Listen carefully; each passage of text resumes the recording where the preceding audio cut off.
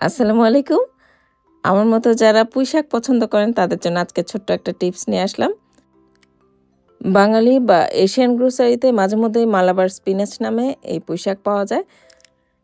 টাটকা পুঁই শাক এরকম নিয়ে এসে পাতাগুলো এবং উপরে নরম ডাল কেটে নিয়ে নিচের যে গোড়া অংশটুকু, সেটুকু ভিজিয়ে রাখি। বাইরের দেশে যারা থাকি, তাদের জন্য কিন্তু সবসময় এরকম টাটকা শাক পাওয়াটা একটা ভাগ্যের ব্যাপার। তাই ঘরেই আমরা কিন্তু লাগিয়ে ফেলতে পারি পুঁই শাকের এই ডাটা।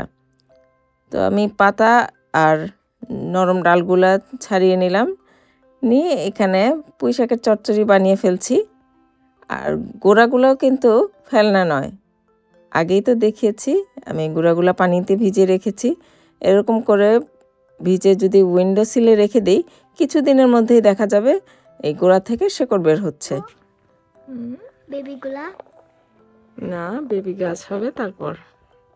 কেন? উপযুক্ত পরিবেশ পেলে কিছুদিনের মধ্যে এরকম শেকড় ছেড়ে সে তার একটা শক্ত পজিশন তৈরি করে নেবে। Then now happy plants. পুঁই শাকের ভালো গঠন এবং বৃদ্ধির জন্য দরকার নাইট্রোজেন রিচ কম্পোস্ট অথবা সার।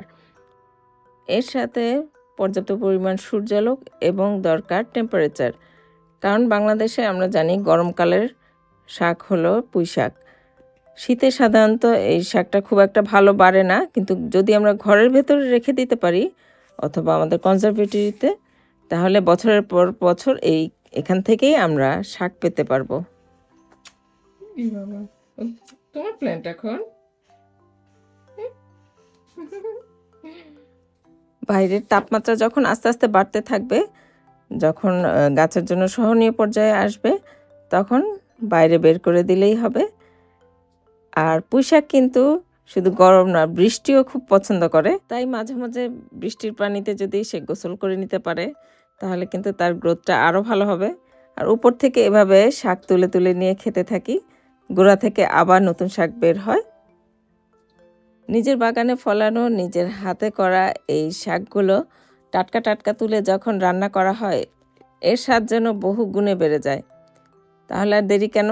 আজকেই আপনারা শুরু করতে পারেন আর শীঘ্রই আমরা আমাদের চ্যানেলে পুঁই শাকের যে বীজ থেকে চারা করা বা গাছ করা, সেটা নিয়ে আমরা একটা পর্ব করতে যাচ্ছি। আপনাদের যদি এই নিয়ে কোনো রকম কোনো প্রশ্ন থাকে বা পুঁই শাকের যত্ন নিয়ে কোনো প্রশ্ন থাকে বা কীভাবে ভালো ফলন পাবেন। তো এরকম যে কোনো প্রশ্ন আপনারা এই ভিডিওর কমেন্টে আপনারা করে রাখতে পারেন। পরবর্তী পর্বটাতে আমরা এগুলোর সব উত্তর দিয়ে দেওয়ার চেষ্টা করব। তা এই তো এইভাবে বছরের পর বছর আমরা পুঁই শাক নিজের ফলানো পুঁই শাক ঘরে রেখে খেতে পারি।